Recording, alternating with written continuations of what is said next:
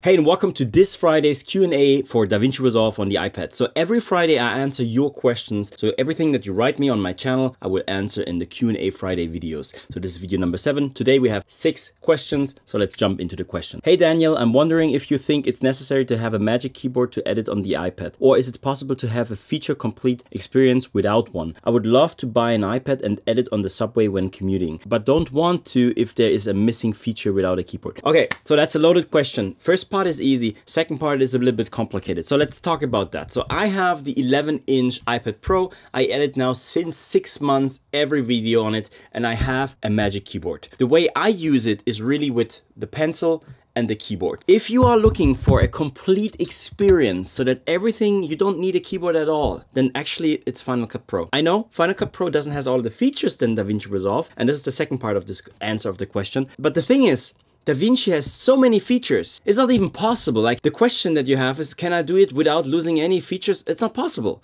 Like Maybe it is possible, but not the way it is right now. And I don't think that a complete software like DaVinci Resolve or Premiere Pro, if, and even Final Cut Pro, if it would come with all of the features, you would have it completely smoothless just with the eye. If you're looking for just an editing software that you can use on the go to be fast, then I actually recommend Final Cut Pro because they put a lot of thoughts into just using the screen and the pencil and the jog wheel, right? When it comes to DaVinci Resolve on the iPad, it's actually that you you you are way faster if you have a keyboard because you can have shortcuts like even just the menu go to the fusion page or the edit page you can't even do if you only have the ipad like this right so but i'm not saying that it's not possible to edit on the go so for example with my 11 inch which is so much smaller and it's still possible to edit i can sit in places where normally with a laptop i would never edit so even on the train i have this with me with the keyboard i can put it here onto my lap and edit because i'm now closer to the screen screen. I have the pencil here and I can do, right? I can do stuff this. So I'm way more comfortable. I get your question. You want just the screen. I get it. And for that, I really think then maybe DaVinci Resolve is not the best editing software. But if you look for all the features that you have, I would actually suggest getting a keyboard. It doesn't have to be the Magic Keyboard, but Magic Keyboard is very nice because you can detach it very fast, right?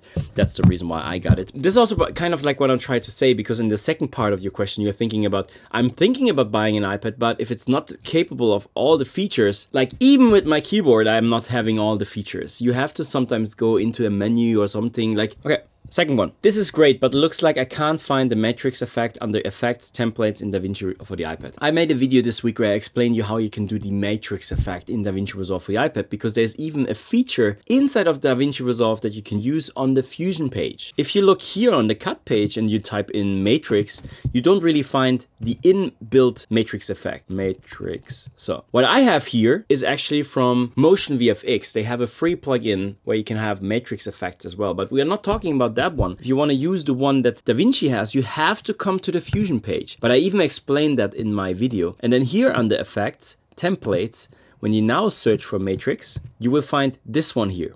That top one is built in into DaVinci Resolve on the iPad. I have the studio version. Let me know if you can find it now because it could be that's the studio feature, but I don't think so. I think this should be a feature that's free and you can use it straight away. This question, I just have to share that with you because it kind of like relates to the first question with having a keyboard. How do you cut a video on the edit page? I can't find the blade tools. Yeah, that's right. I have never thought about this because I always use S on my keyboard for cut and editing stuff. So if I'm in the edit page, you're right. There is no cut because officially the edit page never launched. So the edit page is kind of like the same like it is on the desktop. But if you're on the cut page, of course, you have the different buttons like the cut and everything, and you can't do this on the edit page. That's true. And so if you are only working with a tablet mode, you're kind of screwed. You have to go to the cut page. You don't do it on the edit page. I mean, but Blackmagic even, that's one of the reasons why they didn't launch the edit page because you are supposed to cut on the cut page on the iPad for now. So what's my answer here? For me, with a keyboard, and I know you maybe don't have a keyboard and now I'm saying saying you should get a keyboard. But the thing is,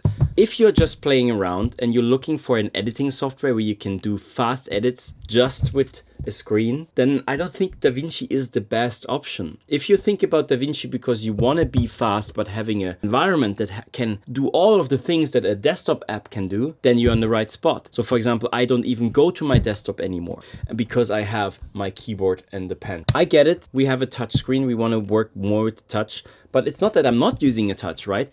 I'm I'm faster because my right hand, instead of a mouse, I'm having my pencil all the time. Like all the things where you drag and drop something and resize, it's so much faster because I can use the pencil than instead of my mouse. And then for all the other stuff to make the cuts, this is where shortcuts come handy because you are so much faster with the shortcuts, editing stuff. And I do this now every day since last six months just on the iPad. If you're going into this route and you want to be fast, then I would recommend you get a keyboard. And I think if you're working as a freelancer or somehow your editing is related to earning money, like either your own business or you work for someone else, then over time, the speed that you get will pay for itself. How do you speed keyframes up? Very interesting question because this was part of the video with keyframes. So if you want to speed up something, like keyframes and stuff. I would go to the edit page and here on the edit page, if you longer press on a clip, you have retime speed or retime controls. So for example, if I have a keyframe here, so I can say, for example, here, add speed point, and I'll make another speed point here, add speed point. So I guess what you're talking about is that I can now grab this one